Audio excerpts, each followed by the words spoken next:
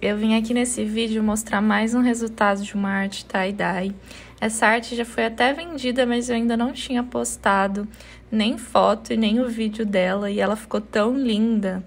Essa técnica de mandala de quatro pontas eu amo fazer, simplesmente amo.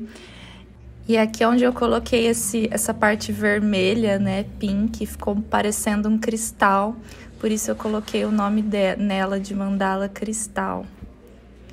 E assim ficou o resultado. O que, que você achou? Curtiu?